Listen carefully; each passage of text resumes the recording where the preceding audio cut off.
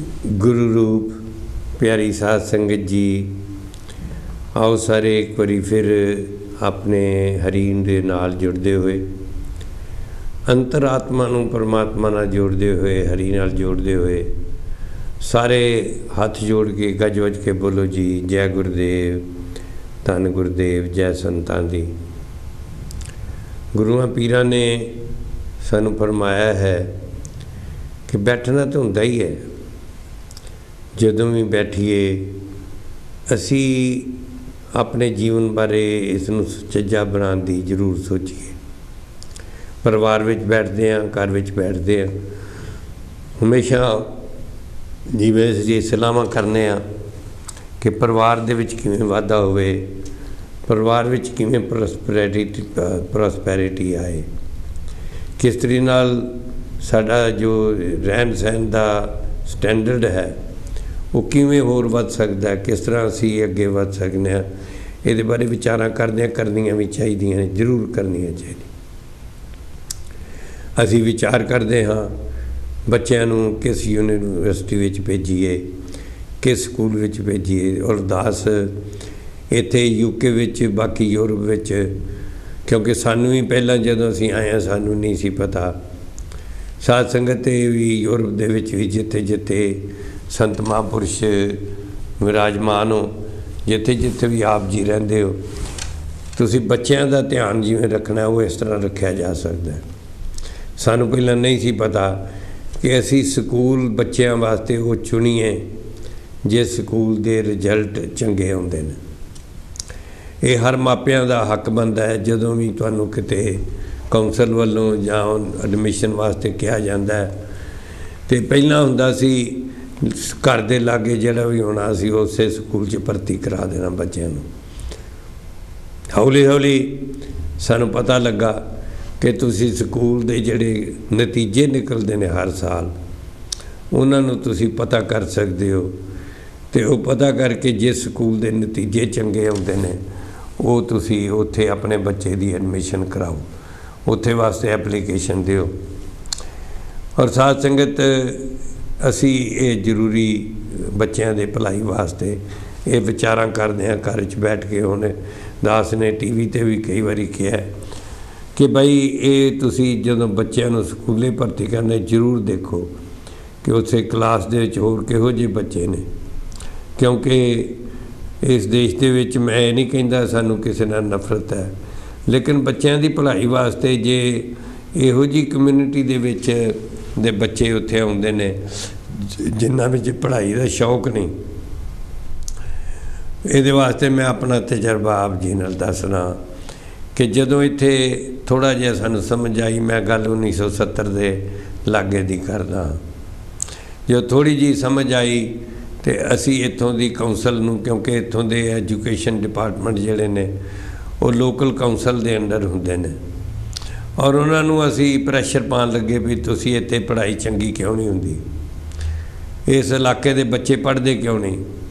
ਔਰ ਜਦੋਂ ਅਸੀਂ ਅਖਬਾਰਾਂ ਦੇ ਵਿੱਚ ਵੀ ਦੇਣ ਲੱਗ ਪਏ, ਸੈਮੀਨਾਰ ਕਰਨ ਲੱਗ ਪਏ ਡਾਇਰੈਕਟਰ ਆਫ ਐਜੂਕੇਸ਼ਨ ਨੂੰ ਪੁੱਛਣ ਲੱਗ ਪਏ, ਤਾਂ ਫਿਰ ਇੱਕ ਵਾਰੀ ਮੈਨੂੰ ਬੁਲਾ ਕੇ ਡਾਇਰੈਕਟਰ ਆਫ ਐਜੂਕੇਸ਼ਨ ਨੇ ਜੋ ਮੈਨੂੰ ਦੱਸਿਆ, ਕਹਿਣ ਲੱਗੇ, ਹਰਮਿੰਦਰ, ਤੁਹਾਡੀ ਹਰ ਗੱਲ ਅਸੀਂ ਮੰਨਨੇ ਆ ਲੇਕਿਨ ਜਿੰਨਾ ਚਿਰ ਮਾਪੇ ਇਹਦੇ ਵਾਸਤੇ ਤਿਆਰ ਨਹੀਂ।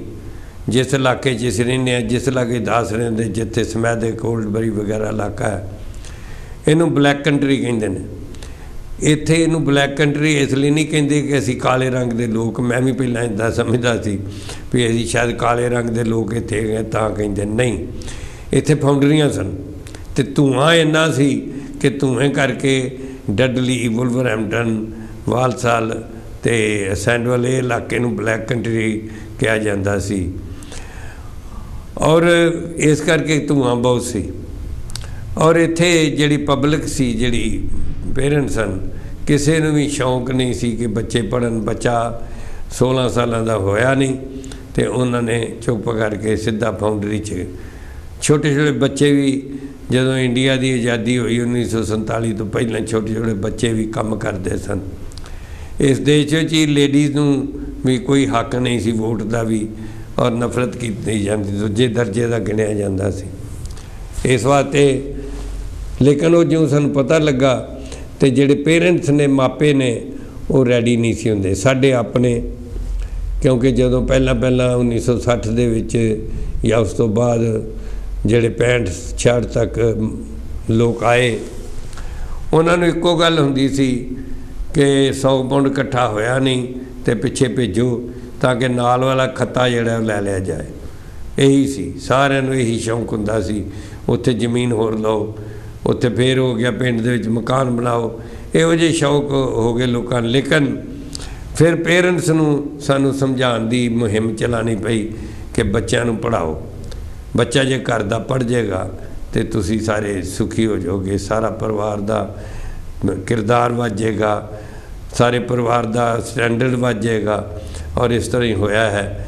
ਅੱਜ ਜੇ ਇਸ ਦੇਸ਼ ਦੇ ਵਿੱਚ ਪ੍ਰਾਈਮ ਮਿਨਿਸਟਰ ਵੀ ਹਿੰਦੁਸਤਾਨ ਬੈਕਗ੍ਰਾਉਂਡ ਦਾ ਬਣ ਸਕਦਾ ਹੈ, ਤਾਂ ਉਹਦਾ ਕਾਰਨ ਸਿਰਫ ਇਹ ਹੈ ਕਿ ਪੜਨ ਲਿਖਣ ਦੇ ਵਿੱਚ ਸਾਡੇ ਏਸ਼ੀਅਨ ਬੱਚਿਆਂ ਨੇ ਇੰਡੀਅਨ ਬੱਚਿਆਂ ਨੇ, ਖਾਸ ਤੌਰ ਤੇ ਪੇਰੈਂਟਸ ਨੇ ਬੜੀ ਪਹਿਲ ਕੀਤੀ ਹੈ।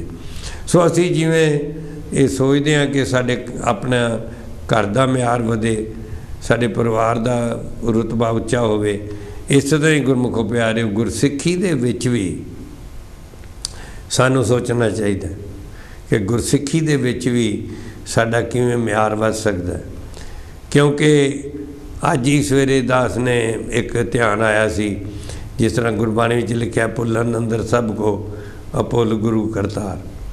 ਕੇਵਲ ਤੇ ਕੇਵਲ ਜਿਹੜਾ ਭੁੱਲ ਨਹੀਂ ਕਰਦਾ ਉਹ ਗੁਰੂ ਔਰ ਅਕਾਲ ਪੁਰਖ ਹਰੀ ਹੈ।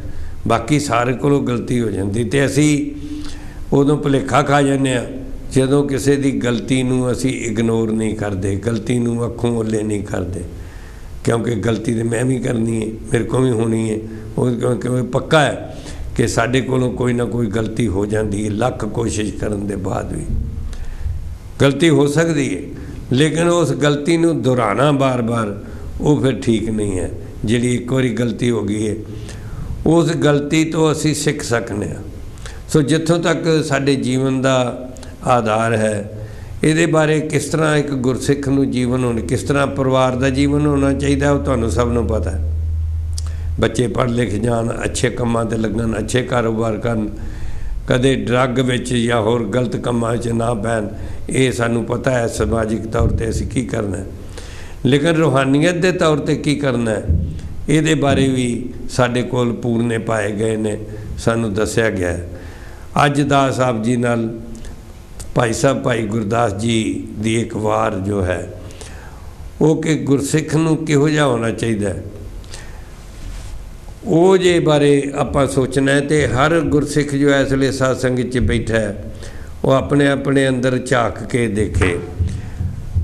ਭਾਈ ਗੁਰਦਾਸ ਜੀ ਫਰਮਾਉਂਦੇ ਨੇ ਕਿ ਗੁਰ ਉਪਦੇਸ਼ ਅਵੇਸ਼ ਕਰ। ਪੈਰੀ ਪਾ ਪੈਰ ਰਾਸ ਕਰਨ ਦੇ। ਸਾਧ ਸੰਗਤ, ਔਰ ਕਿਹੜੀ ਰੋ ਰੀਤੀ ਗੁਰਸਿੱਖਾਂ ਦੀ ਹੁੰਦੀ ਹੈ ਕਹਿੰਦੇ ਨੇ ਉਹ ਗੁਰੂ ਦੇ ਉਪਦੇਸ਼ ਨੂੰ ਪ੍ਰਾਪਤ ਕਰਦੇ ਨੇ। ਔਰ ਗੁਰੂ ਦੇ ਉਪਦੇਸ਼ ਵਿੱਚ ਵਸਦੇ ਨੇ, ਮਨ ਵਿੱਚ ਵਸਾਉਂਦੇ ਨੇ ਗੁਰਮੁਖ।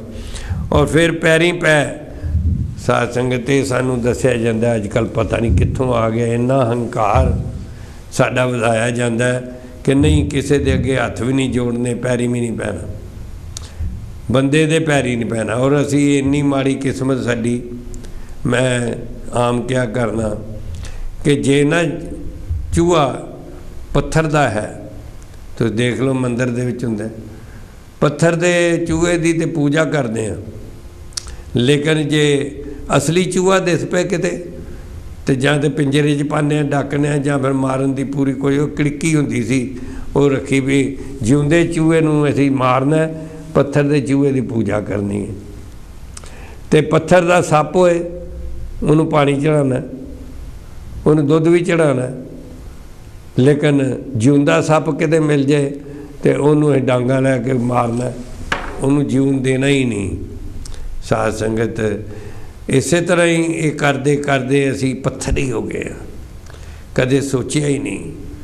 ਮੈਂ ਇੱਕ ਮਿਸਾਲ ਦਿੱਤਾ ਕਰਨਾ ਕਿ ਇੱਕ ਗੁਰਮਖਾਂ ਦੀ ਬੱਚੀ, ਉਹ ਕਰਮ ਕਾਂਡੀਆਂ ਦੇ ਘਰ ਵਿਆਹੀ ਚਲੀ ਗਈ। ਤੇ ਵਿਆਹੀ ਚਲੀ ਗਈ, ਹੁਣ ਜਿਹੜੇ ਗੁਰਸਿੱਖ ਨੇ, ਜਿਹੜੇ ਗੁਰੂ ਵਾਲੇ ਨੇ, ਉਤੇ ਮੂਰਤੀ ਪੂਜਾ, ਪੱਥਰ ਪੂਜਾ ਨਹੀਂ ਕਰਦੇ। ਉਹ ਅਸਲ ਦੀ ਪੂਜਾ ਕਰਦੇ ਨੇ, ਬੰਦੇ ਦੀ ਪੂਜਾ ਕਰਦੇ ਨੇ। ਇਨਸਾਨ ਜਿਹੜਾ ਉਹਦੀ ਪੂਜਾ ਕਰਦੇ ਨੇ, ਇਨਸਾਨ ਨੂੰ ਉਹ ਮਦਦ ਕਰਦੇ ਨੇ, ਇਨਸਾਨ ਦੇ ਨਾਲ ਬੈਠਦੇ ਨੇ। ਉਹ ਚਲੀ ਗਈ ਤੇ ਸੱਸ ਨੇ ਅਗਲੇ ਦਿਨ ਹੀ ਕਿਹਾ ਵੀ ਪੁੱਤਰ ਮੰਦਰ ਜਾ ਕੇ ਮੱਥਾ ਟੇਕਣਾ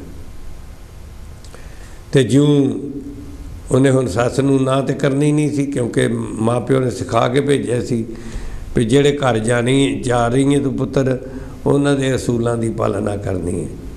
ਤੇ ਮਾਂ ਦੇ ਨਾਲ ਉਹ ਚਲੀ ਗਈ। ਜਿਉਂ ਮੰਦਰ ਦੇ ਵਿੱਚ ਗਈ ਤੇ ਬਾਹਰ ਨਾ ਸ਼ੇਰ ਸੀ, ਸ਼ੇਰ ਦੇ ਬੁੱਤ ਬਣੇ ਹੋਏ। ਸ਼ੇਰ ਦੇ ਬੁੱਤ ਬਣੇ ਵੇਖ ਕੇ ਤੇ ਉਹ ਮਾਂ, ਸੱਸ ਦੇ ਨਾਲ ਚੰਬੜ ਗਈ, ਡਰ ਗਈ ਡਰ ਗਈ ਇਦਾਂ ਐਕਟਿੰਗ ਕੀਤੀ। ਭੱਜ ਕੇ ਚ ਮਾਂ ਜੀ, ਮਾਤਾ ਜੀ, ਸ਼ੇਰ ਸ਼ੇਰ ਸ਼ੇਰ ਸ਼ੇਰ। ਪਹਿਲਾ ਦਿਨ ਹੀ ਸੀ, ਸੱਸ ਹੈਰਾਨ ਹੋ ਗਈ। ਕਿਤੇ ਪਾਗਲ ਤੇ ਨਹੀਂ ਆ ਗਈ। ਪਾਗਲ ਤੇ ਨਹੀਂ ਆ ਗਈ ਵੀ ਇਹ ਪੁੱਤਰ, ਇਹ ਪੱਥਰ ਦਾ ਸ਼ੇਰ ਹੈ। ਪੱਥਰ ਦੇ ਸ਼ੇਰ ਤੋਂ ਨਹੀਂ ਡਰੀਦਾ, ਪੱਥਰ ਦਾ ਸ਼ੇਰ ਨਹੀਂ ਕੱਟਦਾ ਕੁਝ, ਕੱਟਦਾ ਨਹੀਂ, ਮਾਰਦਾ ਨਹੀਂ ਹੈ। ਤੇ ਉਹ ਮਾਂ ਨਾਲ ਸੱਸ ਨਾਲ ਚੰਬੜੀ ਹੋਈ ਕਹਿੰਦੀ ਹੈ, ਅੱਛਾ ਮਾਤਾ ਜੀ, ਮੈਨੂੰ ਤੇ ਬੜਾ ਡਰ ਲੱਗਿਆ, ਮੈਨੂੰ ਤਾਂ ਖਾ ਜਾਣਾ ਸੀ ਇਹਨੇ। ਵੀ ਪੱਥਰ ਦਾ ਸ਼ੇਰ, ਉਹ ਖਾਂਦਾ ਨਹੀਂ ਹੈ, ਮਾਰਦਾ ਨਹੀਂ। ਨਹੀਂ ਪੁੱਤਰ, ਸੱਸ ਨੇ ਸਿਰ ਤੇ ਹੱਥ ਫੇਰਿਆ, ਬੜੇ ਪਿਆਰ ਨਾਲ ਸਮਝਾਇਆ, ਨਹੀਂ ਪੁੱਤਰ ਪੱਥਰ ਦਾ ਸ਼ੇਰ ਜਿਹੜਾ ਉਹ ਨਹੀਂ ਮਾਰਦਾ, ਨਾ ਹੀ ਨੁਕਸਾਨ ਕਰਦਾ ਚੱਲ ਚੱਲ, ਅੱਗੇ ਚੱਲ। ਅੱਗੇ ਗਈ ਤੇ ਅੱਗੇ ਗਊ ਮਾਤਾ ਦੀ ਮੂਰਤੀ ਸੀ। ਤੇ ਗਊ ਮਾਤਾ ਦੀ ਮੂਰਤੀ ਦੇ ਕੋਲ ਬੇਟੀ ਬਹੂ ਖੜ ਗਈ। ਆਖਣ ਲੱਗੀ, ਮਾਤਾ ਜੀ, ਇੱਕ ਮਿੰਟ ਇੱਕ ਮਿੰਟ ਇਹ ਗਊ ਕਿੰਨਾ ਦੁੱਧ ਦਿੰਦੀ ਹੈ ਫਿਰ ਤੇ ਮਾਤਾ ਨੂੰ ਹੋਰ ਪੰਗਾ ਪੈ ਗਿਆ। ਮਾਤਾ ਤੇ ਹੋਰ ਘਬਰਾ ਗਈ ਕਿ ਵਾਕਈ ਇਹ ਲੱਗਦਾ ਇਹਦਾ ਦਿਮਾਗ ਠੀਕ ਨਹੀਂ ਹੈ। ਇਹਨੂੰ ਇੰਨਾ ਵੀ ਨਹੀਂ ਪਤਾ ਵੀ ਪੱਥਰ ਦੀ ਗਾਂ ਜਿਹੜੀ ਦੁੱਧ ਨਹੀਂ ਦਿੰਦੀ। ਤੇ ਜਦੋਂ ਇੰਜ ਕਿਹਾ ਤੇ ਉਹ ਨੂੰ ਪਹਿਲਾਂ ਹੀ ਕਹਿਣ ਲੱਗ ਪਈ, ਮਾਤਾ ਜੀ, ਆਪਾਂ ਇਹਦਾ ਧਾਰ ਕੱਢ ਲਈਏ। ਇਹਦਾ ਦੁੱਧ ਚੋ ਲੈਨੇ ਆ ਮਾਂ ਕਹਿਣ ਲੱਗੀ, ਸੱਸ ਕਹਿੰਦੀ ਹੈ ਪੁੱਤਰ, ਇਹ ਪੱਥਰ ਦੀ ਗਾਂ ਹੈ। ਪੱਥਰ ਦੀਆਂ ਗਾਈਆਂ ਦੁੱਧ ਨਹੀਂ ਦਿੰਦੀਆਂ। ਕਹਿੰਦੀ ਦੇਖੋ ਮਾਤਾ ਜੀ, ਬਿਲਕੁਲ ਉਹ ਜੀ ਸ਼ਕਲ ਹੈ। ਥਾਣੇ ਵੀ ਉੱਡੇ ਹੀ ਨੇ, ਥਾਣੇ ਵੀ ਬਹੁਤ ਵਧੀਆ ਨੇ ਦੁੱਧ ਨਾਲ ਭਰੇ ਪਏ ਨੇ, ਕਿਉਂ ਨਹੀਂ ਦਿੰਦੀ? ਪੁੱਤਰ, ਨਹੀਂ, ਇਹ ਮੂਰਤੀ ਹੈ, ਗਾਂ ਦੀ ਮੂਰਤੀ, ਇਹ ਗਾਂ ਨਹੀਂ ਹੈ। ਅਸਲੀ ਗਾਂ ਦੁੱਧ ਦਿੰਦੀ ਹੈ ਇਹ ਮੂਰਤੀ ਹੈ, ਇਹ ਨਹੀਂ ਦੁੱਧ ਦਿੰਦੀ, ਚੱਲ ਅੱਗੇ ਚੱਲ। ਅੱਛਾ ਮਾਤਾ ਜੀ, ਪੱਥਰ ਦੀ ਗਾਂ ਦੁੱਧ ਨਹੀਂ ਦਿੰਦੀ ਨਹੀਂ ਦਿੰਦੀ। ਸਾਧ ਸੰਗਤ ਅੱਗੇ ਚਲੇ ਗਏ, ਅੱਗੇ ਭਗਵਾਨ ਦੀ ਮੂਰਤੀ ਸੀ। ਔਰ ਸੱਸ ਕਹਿੰਦੀ ਪੁੱਤਰ ਟੇਕ ਮੱਥਾ, ਸਾਰੇ ਸੁੱਖ ਦੇਣਗੇ, ਸਾਰੀਆਂ ਖੁਸ਼ੀਆਂ ਮਿਲਣਗੀਆਂ। ਤੇਰਾ ਗ੍ਰਸਥ ਮਾਰਗ ਬੜਾ ਸੁਖੀ ਹੋਏਗਾ, ਤੂੰ ਮੱਥਾ ਟੇਕ। ਤੇ ਫਿਰ ਹੁਣ ਉਹ ਆਪਣੇ ਪੁਆਇੰਟ ਤੇ ਆਈ, ਬਹੂ। ਕਿਉਂਕਿ ਬਹੂ ਸਤਸੰਗੀ ਸੀ, ਆਖਣ ਲੱਗੀ, ਮਾਤਾ ਜੀ, ਮੈਂ ਨਹੀਂ ਮੱਥਾ ਟੇਕਣਾ। ਕਿਉਂ ਪੁੱਤਰ, ਪਾਪ ਚੜਦਾ ਮੱਥਾ ਟੇਕ। ਬੜਾ ਪਾਪ ਲੱਗੇਗਾ, ਮੱਥਾ ਟੇਕ। ਕਹਿਣ ਲੱਗੀ, ਨਹੀਂ ਮਾਤਾ ਜੀ, ਮੈਂ ਪੱਥਰ ਦੇ ਪਰਮਾਤਮਾ ਨੂੰ ਮੱਥਾ ਨਹੀਂ ਮੈਂ ਟੇਕਣਾ। ਕਿਉਂ ਗਲਤ ਨਾ ਇੰਜ ਕਹਿਨੀ ਹੈ ਸਾਡੇ ਦਾਦੇ ਪੜਦਾਦੇ ਸਾਰੇ ਬਜ਼ੁਰਗ ਮੱਥਾ ਟੇਕਦੇ ਤੂੰ ਕਿਉਂ ਨਹੀਂ ਟੇਕਣਾ? ਆਖਣ ਲੱਗੀ ਮਾਤਾ ਜੀ, ਮੈਨੂੰ ਸਮਝਾਓ ਕਿ ਜੇ ਪੱਥਰ ਦਾ ਸ਼ੇਰ ਕੱਟ ਨਹੀਂ ਸਕਦਾ, ਪੱਥਰ ਦਾ ਸ਼ੇਰ ਜੇ ਮਾਰ ਨਹੀਂ ਸਕਦਾ, ਪੱਥਰ ਦੀ ਗਊ ਜੇ ਦੁੱਧ ਨਹੀਂ ਦੇ ਸਕਦੀ, ਤੇ ਫਿਰ ਪੱਥਰ ਦੀ ਗਾਂ ਦੁੱਧ ਨਹੀਂ ਦੇ ਸਕਦੀ ਤੇ ਫਿਰ ਪੱਥਰ ਦਾ ਪਰਮਾਤਮਾ ਕੀ ਦੇ ਸਕਦਾ ਮੈਂ ਇਹ ਨਹੀਂ ਕਹਿੰਦਾ ਸੰਤ ਚਲੋ ਕਿ ਮੰਦਰ ਨਾ ਜਾ ਜ਼ਰੂਰ ਜਾਓ। ਲੇਕਿਨ ਜਦੋਂ ਭਗਵਾਨ ਦੀ ਮੂਰਤੀ ਦੇਖਦੇ ਹੋ, ਉਹ ਮੂਰਤੀ ਹੈ, ਭਗਵਾਨ ਨਹੀਂ ਹੈ, ਭਗਵਾਨ ਦੀ ਮੂਰਤੀ ਹੈ। ਔਰ ਇਸ ਵਾਸਤੇ ਭਗਵਾਨ ਦੀ ਮੂਰਤੀ ਨੂੰ ਵੇਖ ਕੇ ਜੇ ਤੇ ਮਨ ਵਿੱਚ ਇਹ ਆਏ ਕਿ ਮੈਂ ਵੀ ਭਗਵਾਨ ਨੂੰ ਵੇਖਣਾ ਭਗਵਾਨ ਦੇ ਦਰਸ਼ਨ ਵੀ ਕਰਨੇ ਨੇ, ਫਿਰ ਤੇ ਮੁਬਾਰਕ ਹੋ ਜਾਂਦਾ ਭਾਵੇਂ ਦਿਹਾੜੀ 'ਚ 10 ਵਾਰੀ ਜਾਓ। ਤੇ ਨਹੀਂ ਤੇ ਫਿਰ ਉਸੇ ਤਰ੍ਹਾਂ ਜਾਓਗੇ ਤੇ ਉਸੇ ਤਰ੍ਹਾਂ ਜੇ ਪੱਥਰ ਪੂਜੇ ਰੱਬ ਮਿਲੇ, ਮੈਂ ਪੂਜੂ ਪਹਾੜ, ਤਾਂ ਤੇ ਤੋ ਚਾਕੀ ਬਲੀ ਜੋ ਪੀਸ ਖਾਏ ਸੰਸਾਰ। ਇਸ ਵਾਸਤੇ ਗੁਰਮੁਖੋ ਪਿਆਰਿਓ, ਇੱਥੇ ਵੀ ਬਹੁਤ ਸਾਰੇ ਜਿਹੜੇ ਮੰਦਰ ਦੇ ਸੇਵਾਦਾਰ ਨੇ, ਉਹ ਦਾਸ ਨਾਲ ਬੜਾ ਪਿਆਰ ਹੈ, ਆਪ ਮੰਦਰ ਬਣਵਾਏ ਵੀ ਨੇ, ਨਾਲ ਅਸੀਂ ਇੱਜ਼ਤ ਵੀ ਕਰਦੇ ਹਾਂ ਪੂਰਾ ਵੀ। ਲੇਕਿਨ ਹਰ ਇੱਕ ਧਾਰਮਿਕ ਸਥਾਨ ਦੇ ਤੋਂ ਇਹ ਆਵਾਜ਼ ਆਣੀ ਚਾਹੀਦੀ ਹੈ। ਜਦੋਂ ਵੀ ਸ਼ਰਧਾਲੂ ਹੁੰਦੇ ਨੇ, ਉਹਨਾਂ ਵਾਸਤੇ ਇਹ ਆਵਾਜ਼ ਹੋਵੇ ਕਿ ਤੁਸੀਂ ਜੋ ਕੁਝ ਸ਼੍ਰੀਮਦ ਭਗਵਦ ਗੀਤਾ 'ਚ ਪੜ੍ਹ ਰਹੇ ਹੋ, ਇਹਨੇ ਤੇ ਅਮਲ ਵੀ ਕਰਨਾ। ਜੋ ਅਸੀਂ ਗੁਰੂ ਗ੍ਰੰਥ ਸਾਹਿਬ ਜੀ ਦੇ 1430 ਪਾਵਨ ਸਫਿਆਂ ਦੇ ਵਿੱਚੋਂ, ਪੰਨਿਆਂ ਚੋਂ ਸਿੱਖ ਰਹੇ ਹਾਂ, ਇਹਨੂੰ ਅਸੀਂ ਘਰ ਦੇ ਵਿੱਚ ਅਮਲ ਵਿੱਚ ਲਿਆਉਣਾ ਜੀਵਨ ਵਿੱਚ ਅਮਲ ਵਿੱਚ ਲਿਆਉਣਾ ਫਿਰ ਤੇ ਸਾਧ ਸੰਗਤ ਗੱਲ ਬਣ ਜਾਏਗੀ। ਵਰਨਾ ਪੜ ਪੜ ਗੱਦੀ ਲੱਦੀਏ ਪੜ ਪੜ ਭਰੀਏ ਸਾਧ ਪੜ ਪੜ ਬੇੜੀ ਪਾਈਏ ਪੜ ਪੜ ਗੱਡੀਏ ਖਾਦ। ਪੜੀਏ ਜੇਤੇ ਬਰਸ ਬਰਸ, ਪੜੀਏ ਜੇਤੀ ਮਾਸ। ਪੜੀਏ ਜੇਤੇ ਆਰਜਾ, ਪੜੀਏ ਜੇਤੇ ਸਵਾਸ। ਨਾਨਕ ਲੇਖੇ ਇੱਕ ਗੱਲ, ਹਉਮੈ ਚਖਣਾ ਚਾਕ। ਇਸ ਵਾਸਤੇ ਬਾਣੀਆਂ ਤੇ ਸਾਨੂੰ ਇਹੀ ਕਹਿੰਦੇ ਫਿਰ ਤੂੰ ਚੱਕ ਮਾਰ ਰਿਹਾ। ਜੇ ਤੂੰ ਇੱਕ ਗੱਲ ਜਿਹੜੀ ਹੈ ਲੇਖੇ ਵਾਲੀ, ਉਹ ਨਹੀਂ ਪ੍ਰਾਪਤ ਕੀਤੀ। ਇੱਕ ਵਸਤ ਬੁੱਝੇ ਤਾਂ ਹਉਮੈ ਪਾਕ ਬਿਨ ਬੁੱਝੇ ਤੂੰ ਸਦਾ ਨਾ ਪਾਕ। ਇੱਕ ਵਸਤੂ ਬੁੱਝਣ ਵਾਸਤੇ ਤੂੰ ਤਾਂ ਹੀ ਪਾਕ ਹੋ ਸਕੇ ਪਾਕ ਨਾਲ ਜੁੜ ਕੇ ਪਵਿੱਤਰ ਨਾਲ ਜੁੜ ਕੇ ਪਵਿੱਤਰ ਹੋ ਸਕਦੇ। ਗੰਦਗੀ ਨਾਲ ਜੁੜ ਕੇ ਤੇ ਪਵਿੱਤਰ ਨਹੀਂ ਬੰਦਾ ਹੋ ਸਕਦਾ। ਤਾਂ ਮਹਾਰਾਜ ਇੱਥੇ ਕਹਿੰਦੇ ਨੇ, ਗੁਰੂ ਦੇ ਉਪਦੇਸ਼ ਦੇ ਵਿੱਚ ਵੇਸ ਕਰਕੇ ਉਹਦੇ ਵਿੱਚ ਜੀਵਨ ਜੀ ਕੇ ਪੈਰੀ ਪੈ ਆਪਣਾ ਜੀਵਨ, ਆਪਣੀ ਰਹਿਰਾਸ ਜਿਹੜੀ ਹੈ, ਉਹ ਕਿਹੋ ਜਿਹਾ ਕਰਦੇ ਨੇ? ਪੈਰੀ ਪੈਂਦੇ ਨੇ ਗੁਰਮੁਖਾਂ ਪਿਆਰਿਆਂ ਦੇ। ਜੋ ਜੋ ਦੀਸੇ ਗੁਰਸਿਖੜਾ ਨਿਉ ਨਿਉ ਲਾਗੂ ਪਾਏ ਜਿਉ ਜਿਉਂ ਜਿਉਂ ਮੈਨੂੰ ਗੁਰਸਿੱਖ ਦੇਸੇ, ਮੈਂ ਨਿਉ ਨਿਉ ਕੇ ਉਹਨਾਂ ਦੀ ਚਰਨ ਬੰਦਨਾ ਕਰਾਂ। ਇਹ ਗੁਰਸਿੱਖ ਦੀ ਰਹਿਣੀ ਬਹਿਣੀ ਹੋਣੀ ਚਾਹੀਦੀ। ਔਰ ਚਰਨ ਸ਼ਰਨ ਮਸਤਕ ਧਰਨ, ਚਰਨ ਰੇਣ ਮੁਖ ਤਿਲਕ ਲਗਾਉਂਦੇ, ਤਿਲਕ ਸੁਹਾਉਂਦੇ। ਸੰਤਾਂ ਦੇ ਚਰਨਾਂ ਦੀ ਸ਼ਰਨ ਵਿੱਚ ਆਉਂਦੇ ਨੇ। ਮਸਤਕ ਤੇ ਇਹ ਮੱਥਾ ਹੈ ਮੇਰਾ। ਇਸ ਮਸਤਕ ਤੇ ਕਹਿੰਦੇ ਨੇ ਗੁਰੂ ਸੰਤਾਂ ਦੇ ਚਰਨਾਂ ਦੀ ਧੂੜੀ ਲਗਾਉਂਦੇ ਨੇ। ਇਹ ਤਿਲਕ ਹੈ।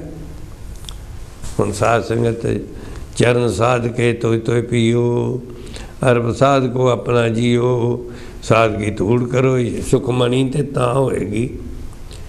ਜਦੋਂ ਸੁੱਖਾਂ ਦੀ ਮਣੀ ਤਾਂ ਮਿਲੇਗੀ, ਜਦੋਂ ਮੈਂ ਇਹ ਕੰਮ ਕਰ ਲਾਂਗਾ। ਕੋਈ ਕੰਮ ਕਰਨ ਲਈ ਤਿਆਰ ਨਹੀਂ। ਸਾਧ ਸੰਗਤ ਸਾਲ 'ਚ ਇੱਕ ਵਾਰੀ ਤੇ ਚਰਚ ਵਿੱਚ ਵੀ ਧੋਂਦੇ ਨੇ। ਤੇ ਅਸੀਂ ਜਿਨ੍ਹਾਂ ਵਾਸਤੇ ਕਿਹਾ, ਚਰਨ ਸਾਧ ਕੇ ਤੋਏ ਤੋਏ ਪੀਓ ਔਰ ਸਾਧ ਕੋ ਆਪਣਾ ਜੀਓ। ਸਾਧ ਕੀ ਧੂੜ ਕਰੋ, ਇਸ਼ਨਾਨ ਸਾਧੂ ਪਰ ਜਾਈਏ ਕੁਰਬਾਨ। ਸਾਧਕ ਸੰਗ ਬੁਝੋ ਪ੍ਰਭ ਨੇੜਾ, ਸਾਧ ਸੰਗ ਸਭ ਹੋਤ ਨਵੇੜਾ ਇਹ ਕਰਨਾ ਕਿੰਨੇ ਹੈ ਸਾਡੇ ਵਾਸਤੇ? ਭਾਈ ਸਾਹਿਬ, ਭਾਈ ਗੁਰਦਾਸ ਜੀ ਕਹਿੰਦੇ ਨੇ, ਸੰਤਾਂ ਦੇ ਚਰਨ ਦੀ ਸ਼ਰਨ ਵਿੱਚ ਆਓ ਔਰ ਉਹਨਾਂ ਦੇ ਚਰਨਾਂ ਦੀ ਧੂੜੀ ਦਾ ਤਿਲਕ, ਇਹ ਤਿਲਕ ਇੱਥੇ ਲਗਾਓ। ਸਾਧ ਸੰਗਤ ਅਸਲੀ ਤਿਲਕ ਸੰਤਾਂ ਦੇ ਚਰਨਾਂ ਦੀ ਤੂੜੀ। ਤੇ ਮੈਂ ਵੀ ਨਹੀਂ ਕਹਿੰਦਾ ਕਿ ਉਹਨਾਂ ਦੇ ਜਰਾਬਾਂ ਲਾ ਕੇ ਮਿੱਟੀ ਪੇ ਲਾਓ। ਨਹੀਂ। ਸੰਤਾਂ ਦੇ ਕੋਲ ਨਿਮਰਤਾ ਨਾਲ ਬੈਠਣਾ, ਸੰਤਾਂ ਦੇ ਵਚਨਾਂ ਨੂੰ ਅਪਣਾਉਣਾ, ਜੀਵਨ ਵਿੱਚ ਮੰਨਣਾ, ਹਿਰਦੇ ਨਾਲ ਮੰਨਣਾ, ਇਹੀ ਅਸਲ ਵਿੱਚ ਹੁੰਦਾ ਹੈ ਸੰਤਾਂ ਦੀ ਸ਼ਰਨਾਗਤਾ ਨਾਲ। ਔਰ ਫਿਰ ਕਹਿੰਦੇ ਨੇ, ਭਰਮ ਕਰਮ ਦਾ ਲੇਖ ਮੇਟ ਲੇਖ ਅਲੇਖ ਵਿਸੇਖ ਮੰਨਦੇ। ਉਹ ਸਾਧ ਸੰਗਤ ਭਰਮਾਂ ਦੇ ਕਰਮ, ਭਰਮਾਂ ਕਰਮਾਂ ਦੇ ਉਹਨਾਂ ਦੇ ਲੇਖਾਂ ਵਿੱਚ ਨਹੀਂ ਪੈਂਦੇ। ਜਿਸ ਤਰ੍ਹਾਂ ਇੱਕ ਚਾਟ ਵੇਚਦਾ ਸੀ ਸੜਕ ਤੇ ਔਰ ਗੱਲਬਾਤ ਵੀ ਬੜੀ ਵਧੀਆ ਕਰਦਾ ਸੀ। ਔਰ ਚਾਟ ਬੜੀ ਸਵਾਦੀ ਵੇਚਦਾ ਸੀ। ਅੱਜ ਕੱਲ ਤੁਸੀਂ ਵੇਖ ਲਓ ਕਿਤੇ ਵੀ ਫਲਾਂ ਦੀ ਦੁਕਾਨ ਤੋਂ ਜ਼ਿਆਦਾ ਭੀੜ, ਚਾਟ ਦੀ ਦੁਕਾਨ ਤੇ ਹੁੰਦੀ ਗੋਲ ਗੱਪੇ ਦੀ ਦੁਕਾਨ ਤੇ ਹੁੰਦੀ, ਭਾਵੇਂ ਪੇਟ ਹੀ ਖਰਾਬ ਕਰਾਉਂਦੇ ਨੇ। ਲੇਕਿਨ ਉੱਥੇ ਹੁੰਦਾ ਸਵਾਦ ਹੈ। ਕੱਲ ਵੇਖ ਰਿਹਾ ਸੀ ਮੈਂ ਪ੍ਰਧਾਨ ਮੰਤਰੀ ਜਾਪਾਨ ਦਾ ਸੀ। ਉਹ ਮੋਦੀ ਜੀ ਵੀ ਉਹਦੇ ਨਾਲ ਗੋਲ ਗੱਪੇ ਖਾ ਰਹੇ ਸਨ। ਮੈਂ ਫਿਰ ਜਨਾਨੀਆਂ ਨੂੰ ਕਿਵੇਂ ਰੋਕੋਗੇ? ਵੀ ਖਾ ਰਹੇ ਨੇ। ਇਸ ਵਾਸਤੇ ਗੁਰਮੁਖੋ ਪਿਆਰੇ, ਉਹਦੇ ਜ਼ਿਆਦਾ ਰਸ਼ ਹੁੰਦਾ ਤੇ ਉਹ ਚਾਟ ਵਾਲੀ ਦੀ ਦੁਕਾਨ ਤੇ ਬਹੁਤ ਰਸ਼ ਹੁੰਦਾ ਸੀ। ਕਿਉਂਕਿ ਉਹਨੇ ਆਉਣੇ ਨਾਲ ਚਾਟ ਬਣਾਈ ਜਾਣੀ, ਨਾਲ ਉਹਨੇ ਗੱਲਾਂ ਕਰੀ ਜਾਣੀਆਂ ਸਵਾਦੀ। ਲੋਕਾਂ ਨੇ ਬੜਾ ਖੁਸ਼ ਹੋਣਾ। ਔਰ ਇੱਕ ਬੰਦਾ ਉੱਥੇ ਆਉਂਦਾ ਹੁੰਦਾ ਸੀ, ਉਹ ਸੋਚਿਆ ਵੀ ਹਰ ਗੱਲ ਦਾ ਜਵਾਬ ਇਹ ਚਾਟ ਵਾਲਾ ਦਿੰਦਾ ਹੈ ਪੜਿਆ ਲਿਖਿਆ ਵੀ ਨਹੀਂ। ਲੇਕਿਨ ਗੱਲਾਂ ਦਾ ਨਾਲੇਜ ਨੂੰ ਬਹੁਤ ਹੈ। ਤੇ ਮੈਂ ਕੋਈ ਐਸੀ ਗੱਲ ਪੁੱਛਾਂ ਜਿਹਦਾ ਇਹਨੂੰ ਜਵਾਬ ਨਾ ਆਏ। ਔਰ ਮਨ ਵਿੱਚ ਸੋਚਦਾ ਰਿਹਾ ਵੀ ਕਿਹੜਾ ਸਵਾਲ ਪੁੱਛਾਂ। ਦੂਜੇ ਦਿਨ ਉਹ ਚਲਾ ਗਿਆ ਤੇ ਨਾਲੇ ਉਹਨੂੰ ਕਹਿਣ ਲੱਗਾ ਵੀ ਚਾਟ ਦੀ ਇੱਕ ਪਲੇਟ ਬਣਾ ਮੇਰੇ ਲਈ।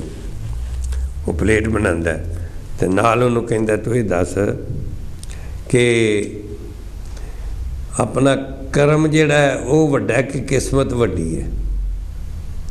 ਕਿਸਮਤ ਵੱਡੀ ਹੈ ਜਾਂ ਕਰਮ ਵੱਡਾ ਹੈ? ਲੱਕ ਵੱਡੀ ਹੈ? ਹੁਣ ਸ਼ਬਦ ਹੈ ਨਾ, ਕਰਮ, ਭਰਮ, ਕਰਮ ਕਾ ਲੇਖ ਮੇਟ ਹੈ। ਤੁਸੀਂ ਇਹ ਤਾਂ ਕਰਕੇ ਕਥਾ ਤੁਹਾਨੂੰ ਸੁਣਾਉਣ ਲੱਗਾ। ਉਹਨੂੰ ਪੁੱਛਦਾ ਕਿ ਦੱਸ ਕਰਮ ਵੱਡਾ ਹੈ ਜਾਂ ਕਿਸਮਤ ਵੱਡੀ ਹੈ। ਔਰ ਉਹ ਚਾਰਟ ਬਣਾਉਣ ਵਾਲਾ ਕਹਿਣ ਲੱਗਾ ਬਾਬੂ ਜੀ, ਤੁਹਾਡਾ ਬੈਂਕ ਦੇ ਵਿੱਚ ਲਾਕਰ ਹੈ। ਤੇ ਉਹ ਬਾਬੂ ਜੀ ਕਹਿੰਦੇ, ਹਾਂ, ਲਾਕਰ ਹੈ। ਆਖਣ ਲੱਗੇ ਵੀ ਲਾਕਰ ਦੀਆਂ ਦੋ ਚਾਬੀਆਂ ਹੁੰਦੀਆਂ। ਕਹਿੰਦਾ, ਹਾਂ। ਕਹਿੰਦੇ, ਇੱਕ ਚਾਬੀ ਮੈਨੇਜਰ ਕੋਲ ਹੁੰਦੀ ਹੈ ਤੇ ਇੱਕ ਚਾਬੀ ਗਾਹਕ ਕੋਲ ਹੁੰਦੀ ਹੈ ਇੱਕ ਚਾਬੀ ਤੁਹਾਡੇ ਕੋਲ ਹੈ, ਇੱਕ ਮੈਨੇਜਰ ਕੋਲ ਹੈ। ਕਹਿੰਦਾ, ਹਾਂ। ਤੇ ਫਿਰ ਉਹਨੇ ਚਾਰਟ ਵਾਲਾ ਕਹਿੰਦਾ ਵੀ ਗੱਲ ਹੁਣ ਧਿਆਨ ਨਾਲ ਸੁਣਨਾ, ਸਾਧ ਸੰਗਤ, ਐਵੇਂ ਲੇਖਾਂ ਪਿੱਛੇ ਨਾ ਭੱਜੀ ਜਾਣਾ। ਘਰ ਐਵੇਂ ਵਿਹਲੇ ਬੈਠੇ ਰਹਿਣਾ ਤੇ ਕਹਿਣਾ, ਮੇਰੇ ਕਿਸਮਤ 'ਚ ਹੀ ਨਹੀਂ, ਇਹ ਕਿੱਥੇ ਲਿਖਿਆ, ਇਹ ਨਹੀਂ ਲਿਖਿਆ। ਹਾਂ, ਕੰਮ ਕਰੋ।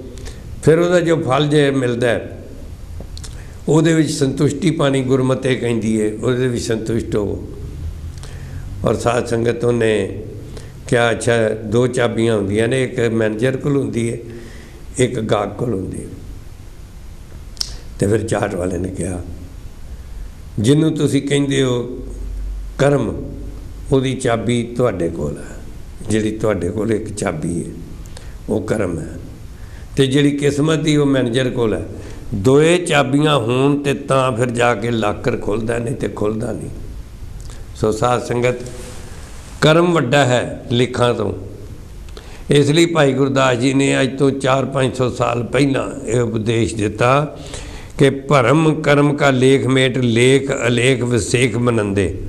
ਉਹ ਆਪਣੀ ਗੁਰਮਤ ਦੇ ਉੱਤੇ ਚੱਲ ਕੇ ਆਪਣੀ ਕਿਸਮਤ ਨੂੰ ਆਪ ਬਣਾਉਂਦੇ ਹਨ। ਸਤਿਗੁਰੂ ਦੇ ਹੁਕਮ ਦੇ ਉੱਤੇ ਚੱਲਦੇ ਹੋਏ ਸਾਧ ਸੰਗਤ ਨੂੰ ਕਿੰਨੀ ਵੱਡੀ ਗੱਲ। ਸਿੰਘ ਸਾਹਿਬ, ਭਾਈ ਸਾਹਿਬ, ਭਾਈ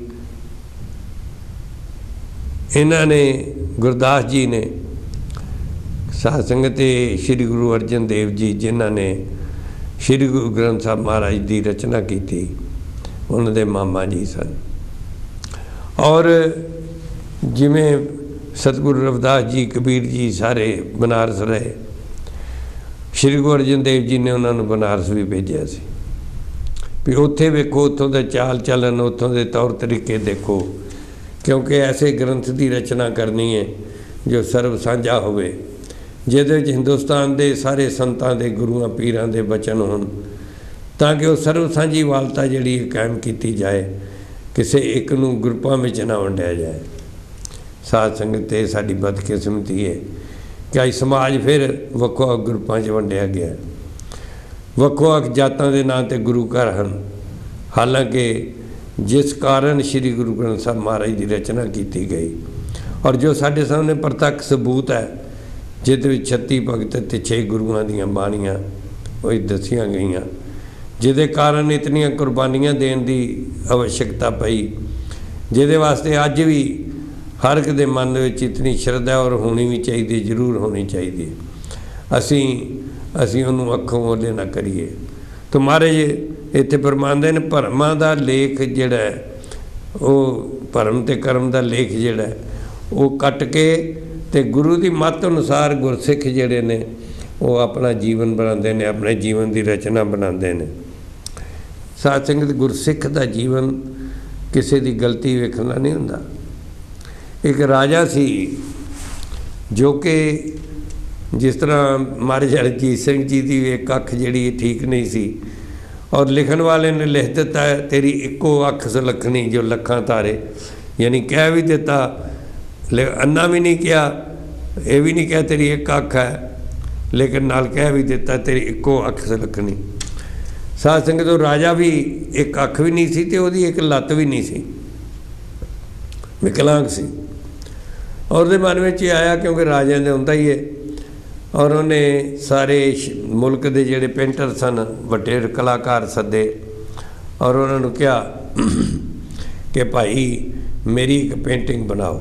ਸੁੰਦਰ ਪੇਂਟਿੰਗ ਬਣੇ ਜੋ ਕਿ ਮਹਿਲ ਦੇ ਵਿੱਚ ਲਗਾਣੀ ਚ ਮਹਿਲ ਵਿੱਚ ਲਗਾਵਾਂਗੇ। ਸਾਰੇ ਪੇਂਟਰ ਥੱਕ ਡਰ ਗਏ ਵੀ ਹੁਣ ਇਹ, ਇੱਕ ਲੱਤੋਂ ਲੰਗੜਾ ਹੈ ਔਰ ਅੱਖੋਂ ਇਹ ਕਾਣਾ ਹੈ।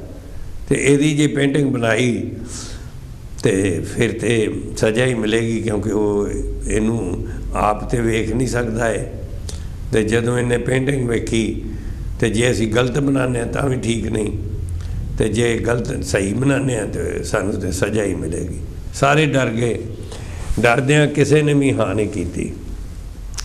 ਰਾਜਾ ਬੜਾ ਪਰੇਸ਼ਾਨ ਕਿ ਸਾਰੇ ਭਾਈ ਮੇਰੇ ਦੇਸ਼ ਵਿੱਚ ਕੋਈ ਵੀ ਨਹੀਂ। ਮੈਂ ਤੇ ਸਮਝਦਾ ਬੜੇ ਬੜੇ ਵੱਡੇ ਪੇਂਟਰ ਨੇ ਬੜੇ ਬੜੇ ਕਲਾਕਾਰ ਨੇ। ਅਖੀਰ ਇੱਕ ਗੁਰਸਿੱਖ, ਇੱਕ ਭਗਤ ਆਇਆ, ਕਹਿਣ ਲੱਗ ਜੀ, ਮੈਂ ਬਣਾਉਣਾ ਤੁਹਾਡੀ ਪੇਂਟਿੰਗ ਔਰ ਉਹਨੇ ਕਿਹਾ, ਮੈਨੂੰ 6 ਮਹੀਨੇ ਦਾ ਸਮਾਂ ਦਿੱਤਾ ਜਾਏ। ਉਹਨੇ 6 ਮਹੀਨੇ ਦਾ ਸਮਾਂ ਦਿੱਤਾ ਔਰ ਸਾਧ ਸੰਗਤ ਨੇ 6 ਮਹੀਨਿਆਂ ਬਾਅਦ ਪੇਂਟਿੰਗ ਲੈ ਕੇ ਆਇਆ। ਸਾਰੀ ਦੁਨੀਆ ਇਕੱਠੀ ਹੋ ਗਈ ਕਿ ਵੇਖੀਏ, ਇਹਨੂੰ ਐ ਸਜ਼ਾ ਮਿਲੇਗੀ, ਕੀ ਪੇਂਟਿੰਗ ਬਣਾਈ ਹੈ ਔਰ ਸਾਧ ਸੰਗਤ ਨੇ ਪੇਂਟਿੰਗ ਕੀ ਬਣਾਈ ਕਿ ਰਾਜਾ ਇੱਕ ਅੱਖ ਬੰਦ ਕਰਕੇ ਨਿਸ਼ਾਨਾ ਲਾ ਰਿਹਾ ਹੈ। ਬੰਦੂਕ ਦਾ। ਔਰ ਇੱਕ ਲੱਤਾਂ ਭਾਰ ਇੱਕ ਥੱਲੇ ਰੱਖੇ ਕੇ ਜਿਸ ਤਰ੍ਹਾਂ ਨਿਸ਼ਾਨਾ ਲਾਉਂਦੇ ਨੇ ਸ਼ਿਕਾਰੀ, ਇੱਕ ਲੱਤ ਥੱਲੇ ਲਾਈ ਗੋਡਾ। ਜਿਹੜੀ ਲੱਤ ਠੀਕ ਨਹੀਂ ਸੀ, ਉਹ ਗੋਡਾ ਥੱਲੇ ਲਾਇਆ ਔਰ ਦੂਜਾ ਉਹਨੇ ਅੱਖ ਬੰਦ ਕੀਤੀ, ਜਿਹੜੀ ਅੱਖ ਖਰਾਬ ਸੀ ਉਹਦੇ ਨਾਲ ਦੂਜੀ ਨਾਲ ਦੇਖਦਾ ਰਿਹਾ। ਰਾਜਾ ਵੇਖ ਕੇ ਇਤਨਾ ਖੁਸ਼ ਹੋਇਆ, ਇੰਨੀ ਵਧੀਆ ਪੇਂਟਿੰਗ ਔਰ ਕਿਸ ਤਰ੍ਹਾਂ, ਕਿਉਂਕਿ ਰਾਜੇ ਦੀ ਕਮਜ਼ੋਰੀ ਨੂੰ ਛੁਪਾ ਕੇ ਰਾਜੇ ਦੀ ਜਿਹੜੀ ਗਲਤੀ ਸੀ, ਉਹਨੂੰ ਪ੍ਰਗਟ ਨਹੀਂ ਕੀਤਾ, ਉਹਨੇ ਛੁਪਾਇਆ, ਉਹਨੂੰ ਸੁੰਦਰਤਾ ਦਿੱਤੀ। ਇਸ ਤਰ੍ਹਾਂ ਗੁਰਸਿੱਖ ਦਾ ਜੀਵਨ ਜੋ ਭਾਈ ਗੁਰਦਾਸ ਜੀ ਚਾਹੁੰਦੇ ਨੇ, ਸਾਡਾ ਹੁੰਦਾ ਕਿਸੇ ਦੀ ਵੀ ਗਲਤੀ ਨਾ ਵੇਖਣੀ। ਹਰੇਕ ਦੀ ਸ਼ੋਭਾ ਵਧਾਣੀ ਔਰ ਮਾਰੇ ਕਹਿੰਦੇ ਨੇ, ਜਗਮਗ ਜੋਤ ਉਦੋਤ ਕਰ ਸੂਰਜ ਚੰਦਨ ਲੱਖ ਭਜੰਦੇ। ਇਹ ਹੁਣ ਅਸਲੀ ਗੱਲ ਹੈ। ਜਿਹੜੀ ਜਗਮਗ ਜੋਤ ਹੈ, ਜੋਤ ਸਾ ਜੁਗ ਸਾ ਸਕਾਇਆ ਫਿਰ ਪਲਟੀਏ। ਇੱਕ ਨੂਰ, ਇੱਕੋ ਨੂਰ ਹੈ, ਸਭ ਦੇ ਅੰਦਰ ਨਰ ਹੈ, ਚਾਹੇ ਨਾਰੀ ਹੈ। ਬ੍ਰਾਹਮਣ ਖੱਤਰੀ ਵੈਸ਼ਰੀ ਜਨ ਇੱਕ ਦੀ ਖਲਕਤ ਸਾਰੀ ਹੈ। ਇਹ ਜਿਹੜੀ ਜੋਤ ਹੈ, ਜਗਮਗ ਜੋਤ ਜਿਹਦੇ ਕਾਰਨ ਆ ਮੇਰੀਆਂ ਅੱਖਾਂ ਵੀ ਦੇਖ ਰਹੀਆਂ ਨੇ, ਮੇਰੇ ਹੱਥ ਵੀ ਚੱਲ ਰਹੇ ਨੇ, ਮੇਰੇ ਕੰਨ ਵੀ ਸੁਣ ਰਹੇ ਨੇ। ਇਹ ਜੋਤ ਜਿਹੜੀ ਹੈ, ਜਗਮਗ ਜੋਤ, ਇਹਨੂੰ ਉਦੋਤ ਕਰ ਇਹਨੂੰ ਫਿਰ ਉਗਾੜ ਲੈਂਦੇ ਹਨ। ਇਹ ਇਹ ਐਸਾ ਕਰਦੇ ਜਿੱਥੇ ਲੱਖਾਂ ਚੰਦ ਸੂਰਜ ਵੀ ਨਹੀਂ ਪੁੱਜ ਸਕਦੇ। ਜਗਮਾ ਜੋਤ ਨੂੰ ਹਿਰਦੇ ਵਿੱਚ ਪ੍ਰਗਟ ਕਰਦੇ ਨੇ ਆਣ ਸੂਰਜ ਦੀ ਰੌਸ਼ਨੀ ਵੀ ਸਾਧ ਸੰਗਤ ਬਾਹਰ ਹੀ ਹੈ। ਔਰ ਜਦੋਂ ਸੂਰਜ ਦੀ ਹੋਂਦ ਹੈ ਤਾਂ ਆਈਆਂ ਨਹੀਂ ਤੇ ਨਹੀਂ। ਲੇਕਿਨ ਜਿਹਦਾ ਅੰਦਰ ਜਗਮਗ ਕਰਦਾ ਹੈ, ਜਿਹਦੇ ਅੰਦਰ ਰੌਸ਼ਨੀ ਹੁੰਦੀ ਹੈ, ਜਿਹਨੂੰ ਕਿਹਾ ਕਿ ਗਿਆਨ ਅੰਜਨ ਗੁਰ ਦੀਆ। ਅਗਿਆਨ ਅੰਧੇਰ ਵਿਨਾਸ਼ ਹਰ ਕਿਰਪਾ ਤੇ ਸੰਤ ਭੇਟਿਆ ਨਾਨਕ ਮਨ ਪ੍ਰਗਾਸ। ਇਹ ਜਿਹੜੀ, ਇਹ ਜਿਹੜਾ ਗਿਆਨ ਦਾ ਪ੍ਰਕਾਸ਼ ਹੈ, ਇਹ ਅੰਦਰ ਹੁੰਦਾ ਹੈ। ਅੰਦਰ ਸਾਡੇ ਵਹਿਮ ਪਰਮ ਭਲੇਖੇ ਜਿਨ੍ਹਾਂ ਦਾ ਭਾਈ ਸਾਹਿਬ, ਭਾਈ ਗੁਰਦਾਸ ਜੀ ਫਰਮਾ ਰਹੇ ਨੇ, ਉਹ ਦੂਰ ਕਰਦਾ ਹੈ। ਅੰਦਰ ਜਦੋਂ ਚਾਨਣ ਹੋ ਜਾਂਦਾ, ਜਿੰਨਾ ਚਿਰ ਅੰਦਰ ਰੌਸ਼ਨੀ ਨਹੀਂ ਹੁੰਦੀ, ਗਿਆਨ ਦੀ ਰੌਸ਼ਨੀ ਨਹੀਂ ਹੁੰਦੀ ਉਹਨਾਂ ਚਿਰ ਬਾਹਰ ਦੇ ਵੀ ਵਹਿਮ ਪਰਮ ਭਲੇਖੇ ਨਹੀਂ ਖਤਮ ਹੋ ਸਕਦੇ। ਕਿਸ ਤਰੀਕੇ ਨਾਲ ਵਹਿਮ ਸਾਧ ਸੰਗਤ ਦੁਨੀਆ ਨੇ ਪਾਏ ਨੇ ਜਿਹਦਾ ਅੰਤ ਹੀ ਨਹੀਂ ਹੈ। ਆ ਸ਼ਨੀਵਾਰ ਇਹ ਨਹੀਂ ਕਰਨਾ, ਮੰਗਲਵਾਰ ਇਹ ਨਹੀਂ ਕਰਨਾ। ਸਾਧ ਸੰਗਤ ਦਾਸ, ਮੈਂ ਇਹ ਨਹੀਂ ਕਹਿੰਦਾ, ਹਰ ਦਿਨ ਹੀ ਮੁਬਾਰਕ ਹੈ। ਅਜੇ ਦਾਸ 15 16 ਸਾਲਾਂ ਦਾ ਸੀ। ਤੇ ਮੈਂ ਆਪ ਗੁਰਦੁਆਰਾ ਸਾਹਿਬ ਜਿਹੜਾ ਅਸੀਂ ਆਪ ਬਣਾਇਆ ਸੀ ਪਾਕਿਸਤਾਨ ਤੋਂ ਆਉਣ ਤੋਂ ਬਾਅਦ, ਇੱਕ ਘਰ ਖਾਲੀ ਦੇ ਵਿੱਚ ਗੁਰੂ ਘਰ ਬਣਾਇਆ। ਹਰ ਸੰਗਰਾਂਦ ਨੂੰ ਮੇਰੇ ਦਾਦਾ ਜੀ ਨੇ ਮੈਨੂੰ ਸਿਖਾਇਆ ਸੀ ਕੜਾ ਪ੍ਰਸ਼ਾਦ ਦੀ ਦੇਗ ਬਣਾਉਣੀ, ਮੈਂ ਆਪ ਬਣਾਉਂਦਾ ਰਿਹਾ। ਸਾਧ ਸੰਗਤ ਆਪ ਕਰਦੇ ਰਹੇ ਹਾਂ। ਇਹ ਸਾਰੇ ਕੰਮ ਅਸੀਂ ਆਪ ਕਰਦੇ ਰਹੇ ਹਾਂ। ਔਰ ਛੋਟੀ ਉਮਰ ਤੋਂ ਹੀ ਸਿੱਖ ਲਿਆ ਕੜਾ ਪ੍ਰਸ਼ਾਦੀ ਦਾ ਦੇਗ ਬਣਾਣੀ ਉਹਨਾਂ ਇੱਕੋ ਜਿੰਨਾ ਆਟਾ, ਇੱਕੋ ਜਿੰਨੇ ਘਿਓ, ਇੱਕੋ ਜਿੰਨਾ ਲੈ ਕੇ ਚਾਰ ਗੁਣਾ ਪਾਣੀ, ਖੰਡ, ਘਿਓ ਤੇ ਆਟਾ ਇੱਕੋ ਜਿੰਨਾ ਲੈ ਕੇ ਔਰ ਚਾਰ ਗੁਣਾ ਪਾਣੀ ਵੱਖਰੀ ਚਾਸ ਬਣਾ ਕੇ ਫਿਰ ਆਟੇ ਨੂੰ ਭੁੰਨ ਕੇ ਤੇ ਸਾਧ ਸੰਗਤ ਫਿਰ ਮਿਲਾ ਲੈਣ ਤੇ ਕੜਾ ਪ੍ਰਸ਼ਾਦ ਦੀ ਬਹੁਤ ਵਧੀਆ ਬਣ ਜਾਣੀ। ਇਹ ਕੰਮ ਆਪ ਕਰਦੇ ਰਹੇ ਹਾਂ। ਲੇਕਿਨ ਸਾਧ ਸੰਗਤ ਪ੍ਰਸ਼ਾਦ ਅਸਲ ਵਿੱਚ ਮਹਾਰਾਜ ਦਾ, ਉਹਨਾਂ ਦੇ ਬਚਨਾਂ ਦਾ ਜਿਹੜਾ ਗੁਰੂ ਦੇ ਵਚਨ ਦਾ, ਗੁਰੂ ਦਾ ਪ੍ਰਸ਼ਾਦ, ਗੁਰੂ ਦੇ ਵਚਨ ਨੇ, ਉਹਨਾਂ ਨੂੰ ਪ੍ਰਾਪਤ ਕਰਨਾ ਇਹ ਸਿੰਬੋਲਿਕ ਹੈ ਔਰ ਉਹਨੂੰ ਪ੍ਰਾਪਤ ਕਰਕੇ ਜਦੋਂ ਅਸੀਂ ਜੀਵਨ ਵਿੱਚ ਧਾਰਨ ਕਰਦੇ ਹਾਂ ਤੇ ਸਾਡਾ ਜੀਵਨ ਸਾਧ ਸੰਗਤ ਜੀ ਸਫਲ ਹੋ ਜਾਂਦਾ ਹੈ। ਔਰ ਉਹ ਆਓ ਅਸੀਂ ਸਾਧ ਸੰਗਤ ਇਹ ਹਿਸਾਬ ਨਾਲ ਗੁਰਸਿੱਖ ਦਾ ਜੀਵਨ ਬਣਦਾ ਹੈ, ਜਿਹਦਾ ਕਹਿੰਦੇ ਨੇ ਕਿ ਜਗਮਗ ਜੋਤ ਅਦੂਤ ਕਰ ਸੂਰਜ ਚੰਦ ਨ ਲੱਖ ਪਜੰਦੇ। ਬਾਹਰ ਜਿੰਨਾ ਵੀ ਰੋਸ਼ਨੀ, ਇੱਥੋਂ ਤੱਕ ਹੈ ਕਿ ਜੇ ਸੋ ਚੰਦਾ ਉਗਵੇ। ਸੂਰਜ ਚੜੇ ਹਜ਼ਾਰ ਇਤੇ ਚਾਨਣ ਹੁੰਦਿਆਂ ਗੁਰਬਿਨ ਕੋ ਰੰਦਾਰ ਇਹਨੇ ਚਾਨਣ ਸੌ ਹਜ਼ਾਰਾਂ ਸੂਰਜ ਚੜ ਜਾਣ, ਚੰਦਰਮਾ ਚੜ ਜਾਣ। ਲੇਕਿਨ ਗੁਰੂ ਦੇ ਬਗੈਰ ਹਨੇਰਾ ਹੈ ਜੋ ਅੰਦਰ ਜੋ ਹਨੇਰਾ ਹੈ, ਬਾਹਰ ਦਾ ਚਾਨਣ ਕੁਝ ਨਹੀਂ ਕਰ ਸਕਦਾ। ਸਾਧ ਸੰਗਤ ਦੇ ਲੱਖ ਜਿੰਨੇ ਮਰਜ਼ੀ ਹੋ ਜਾਣ। ਅੰਤਰ ਜੇ ਹਨੇਰਾ ਹੈ ਤੇ ਉਹਦਾ ਕੋਈ ਫਾਇਦਾ ਨਹੀਂ ਹੈ। ਜਿੰਨਾ ਚਿਰ ਗੁਰੂ ਦੀ ਕਿਰਪਾ ਨਹੀਂ ਹੁੰਦੀ, ਗੁਰਬਿਨ ਕੋਰੰਦਾਰ ਗੁਰਬਿਨ ਕੋਰੰਦਾਰ ਗੁਰੂ ਬਿਨ ਸਮਝ ਨਾ ਆਵੇ। ਗੁਰਬਿਨ ਸੁਰਤ ਨਾ ਸਿੱਧ, ਗੁਰਬਿਨ ਮੁਕਤ ਨਾ ਪਾਵੇ। ਗੁਰੂ ਦੇ ਬਗੈਰ ਸੁਰਤ ਜਿਹੜੀ ਹੈ ਸਿੱਧੀ ਨਹੀਂ ਪ੍ਰਾਪਤ ਹੋ ਸਕਦੀ, ਗੁਰੂ ਦੇ ਬਗੈਰ ਮੁਕਤੀ ਨਹੀਂ ਪ੍ਰਾਪਤ ਹੋ ਸਕਦੀ।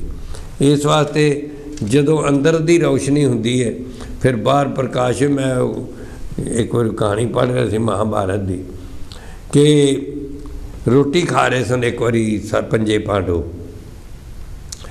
ਔਰ ਰੋਟੀ ਖਾਂਦਿਆਂ ਖਾਂਦਿਆਂ ਲਾਲਟਨ ਬੁੱਝ ਗਈ, ਦੀਵਾ ਬੰਦ ਹੋ ਗਿਆ। ਜੋ ਹਨੇਰੇ ਦੇ ਵਿੱਚ ਵੀ ਕੋਪ ਹਨੇਰਾ ਸੀ, ਮੱਸਿਆ ਦੀ ਰਾਤ, ਔਰ ਕੋਪ ਹਨੇਰੇ ਵਿੱਚ ਵੀ ਜਦੋਂ ਰੋਟੀ ਖਾਣ ਲੱਗੇ ਤੇ ਉਸੇ ਤਰ੍ਹਾਂ ਮੂੰਹ ਵੱਲ ਗਰਾਈ ਜਾਏ, ਉਦੋਂ ਗਰਾਈ ਚੁੱਕਣ ਤੇ ਮੂੰਹ ਵਾਲੀ ਜਾਂਦੀ ਸੀ। ਤੇ ਅਰਜਨ ਦੇ ਮਨ 'ਚ ਆ ਗਿਆ ਕਿ ਜਦੋਂ ਹਨੇਰੇ ਦੇ ਵਿੱਚ ਮੇਰਾ ਹੱਥ ਜਿਹੜਾ ਹੈ, ਉਹ ਬਿਲਕੁਲ ਜਾ ਰਿਹਾ ਹੈ, ਬਿਲਕੁਲ ਮੂੰਹ ਵਾਲੇ ਪਾਸੇ ਹੀ, ਤੇ ਫਿਰ ਮੈਂ ਹਨੇਰੇ 'ਚ ਤੀਰ ਕਿਉਂ ਨਹੀਂ ਚਲਾ ਸਕਦਾ? ਰੋਟੀ ਵਿੱਚੇ ਛੱਡ ਕੇ ਤੇ ਬਾਹਰ ਤੀਰ ਚਲਾਉਣ ਵਾਸਤੇ ਚਲਾ ਗਿਆ। ਔਰ ਉਹਨੂੰ ਫਿਰ ਉਹ ਸ਼ਬਦ ਬੇਦੀ ਬਾਣ ਜਿਹੜੇ ਨੇ, ਇਹਨੂੰ ਕਹਿੰਦੇ ਨੇ ਸ਼ਬਦ ਦੀ ਆਵਾਜ਼ ਦੇ ਉੱਤੇ ਬਾਣ ਚਲਾਣਾ ਉਹਨੇ ਬਾਣ ਚਲਾਇਆ। ਸਾਧ ਸੰਗਤ, ਇਸ ਵਾਸਤੇ ਅੰਦਰ ਦਾ ਚਾਨਣ ਜਿਹੜਾ ਬਾਹਰ ਦਾ ਚਾਨਣ ਕੁਝ ਨਹੀਂ ਕਰ ਸਕਦਾ। ਅੰਦਰ ਦਾ ਚਾਨਣ ਜਿਹੜਾ ਹੁੰਦਾ ਉਹ ਹੀ ਫਿਰ ਸਾਡੇ ਹਨੇਰੇ ਦੂਰ ਕਰ ਸਕਦਾ ਜਗਮਗ ਜੋਤ ਉਦੋਤ ਕਰ ਸੂਰਜ ਚੰਦਰਨ ਜਿੱਥੇ ਲੱਖਾਂ ਵੀ ਸੂਰਜ ਨਹੀਂ ਪਹੁੰਚ ਸਕਦੇ।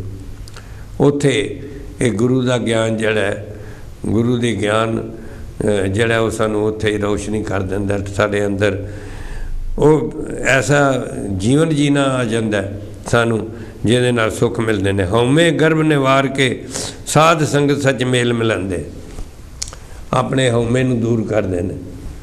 ਹਉਮੈ ਦੇ ਨਾਲ ਜਿੱਥੇ ਹਉਮੈ ਨਾਵੇਂ ਨਾਲ ਵਿਰੋਧ ਹੈ, ਦੋਏ ਨਾ ਵਸੇ ਇੱਕ ਤਾਂ ਦੋਏ ਇਕੱਠੇ ਨਹੀਂ ਰਹਿ ਸਕਦੇ।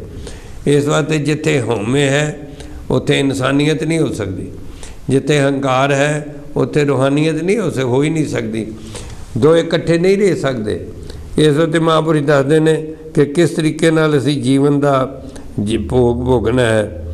ਸਭ ਸਾਧ ਸੰਗਤ, ਜੇ ਅਸੀਂ ਦੇਖੀਏ, ਤਾਂ ਬੜੇ ਬੜੇ ਸਾਡੇ ਕੋਲ ਵਿਦਵਾਨ ਮਹਾਂਪੁਰਸ਼ ਹੋਏ ਨੇ। ਮੈਂ ਕਾਲੀਦਾਸ ਜੀ ਦੀ ਕਹਾਣੀ ਸੁਣਾਇਆ ਕਰਨਾ ਕਿ ਪੰਜਾਬ ਦੇ ਵਿੱਚ ਇੱਥੇ ਰਾਜਾ ਭੋਜ, ਹਿੰਦੁਸਤਾਨ ਵਿੱਚ ਬਹੁਤ ਹੀ ਧਰਮੀ ਰਾਜਾ ਹੋਇਆ। ਔਰ ਉਹ ਸਵੇਰੇ ਸਵੇਰੇ ਸਾਧ ਸੰਗਤ ਮਹਿਲ ਦੇ ਵਿੱਚ ਅੰਬ ਕੱਟ ਰਿਹਾ ਸੀ।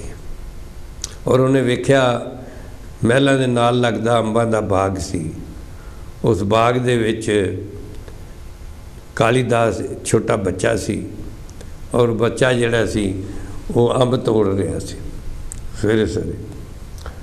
ਔਰ ਇਹ ਗੱਲ ਸੁਭਾਵਿਕ ਸੀ ਕਿ ਬਗੈਰ ਇਜਾਜ਼ਤ ਦੇ ਤੋੜ ਰਿਹਾ, ਮਾਲੀ ਨੂੰ ਤਾਂ ਪੁੱਛ ਨਹੀਂ ਰਿਹਾ। ਬਾਗ ਕਿਸੇ ਦਾ ਔਰ ਉਹ ਤੋੜ ਰਿਹਾ। ਤੇ ਉਹ ਜਦੋਂ ਵੇਖਦੇ ਆ ਕਿ ਬੱਚਾ ਯਾਰ ਚੋਰੀ ਕਰ ਰਿਹਾ ਹੈ। ਔਰ ਜਦੋਂ ਇੰਜ ਸੋਚਿਆ, ਮਨ ਵਿੱਚ ਧਿਆਨ ਉਧਰ ਗਿਆ ਤੇ ਅੰਬ ਕੱਟ ਰਿਹਾ ਸੀ, ਰਾਜਾ ਭੋਜ ਉਹਦੇ ਉਂਗਲ ਦੇ ਉੱਤੇ ਚਾਕੂ ਲੱਗ ਗਿਆ। ਚਾਕੂ ਲੱਗ ਗਿਆ ਤੇ ਤੁਹਾਨੂੰ ਪਤਾ ਹੀ ਰਾਜਾ ਮਹਾਰਾਜਾ ਦਾ ਚਾਪਲੂਸ ਇਕੱਠੇ ਹੋ ਗਏ।